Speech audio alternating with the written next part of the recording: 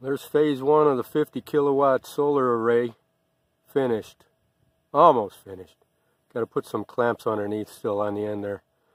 This is two strings. One of them is a 375 watt panel string and the other one is a 370 watt string.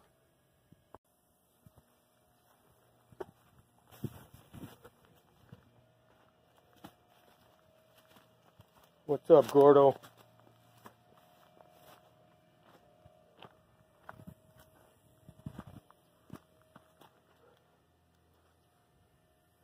Got a little bit of a wave in the middle. That um, the two by six in the middle wanted to warp on me, I guess. So, rest of it's fairly straight, about as good as you can get with lumber, I guess.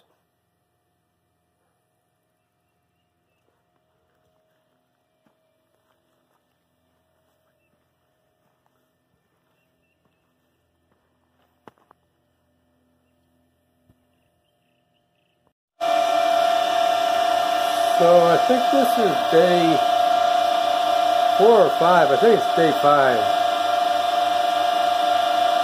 And she's just chugging along. I think what I'm going to do is build a pod, some kind of a pod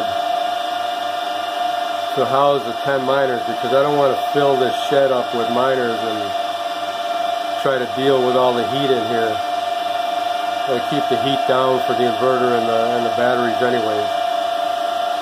So if anybody has any good ideas on on a small pod that's big enough for 10 miners, let me know. Let me know down in the comments.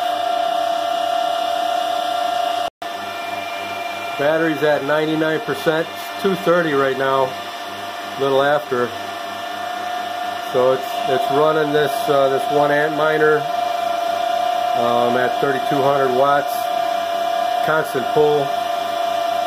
And it's it's charged the battery almost all the way up. Um, charging that at I, I think it's like 12 or 1300 watts. Pretty clear day today. So it's running pretty good. Alright we're gonna see if we can drive a ground rod here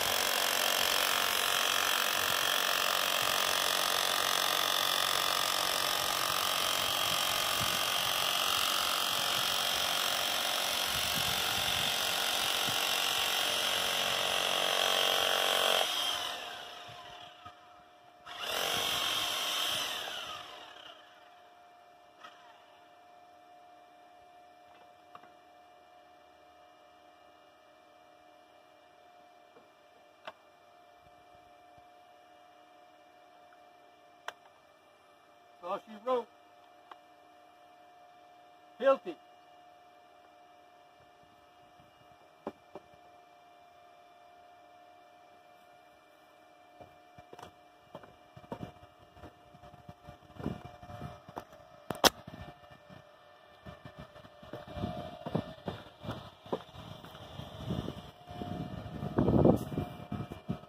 So, we got to finish this trench and uh, hook up these number two hook up these number two aluminums and the ground rod then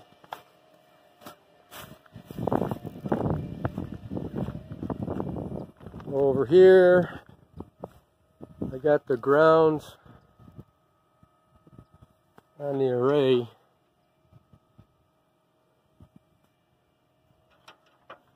all the way through here. All the unistruts are grounded, well will be grounded. And I did a continuity test. Uh, the panels are definitely, they definitely have continuity to the to the unistrut. So the way I got them, way I got them secured underneath here it's grounding the uh, the panels pretty good. So this first first three sections are done pretty much.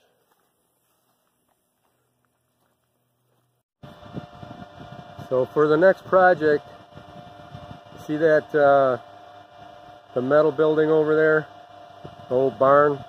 Using it for a chicken coop basically and, and uh, got a greenhouse, lean-to greenhouse on the, on the south side there. What we're going to do, we're going to put some solar panels on the, on the south facing roof and hook a Growatt, a grid tie Growatt up, up to those panels. And then we're not going to grid tie it though, we're going to use the Solis that's in the shed here to create a microgrid. So the, the Solis is going to synchronize, or the, the Growatt is going to synchronize with the Solis. The Solis is going to frequency watt control the Growatt. So the grow the 5,000 watts is going to add to the 11.4 kW that we have in here to help charge the battery and, and run whatever else. And then once the battery gets to a preset uh, state of charge, the Solis is going to adjust the frequency and ramp the, uh, depending on the state of charge, either ramp the, the, the Growatt down or ramp it up or shut it down. So that, that should be a pretty interesting little experiment. I just, I got to work out some, I know there's a 220 line going from the building uh, to the house, but that was damaged years ago. I'm going to have to see if I can find where where the damage was on that. Hopefully I can fix that line. Otherwise I'm going to have to end up pulling some new wire. I don't really want to do that. So stay tuned guys. That should be an interesting one. Like this kind of content, would appreciate a like and a subscribe. And uh, like I always, appreciate you guys. I'll talk to y'all later.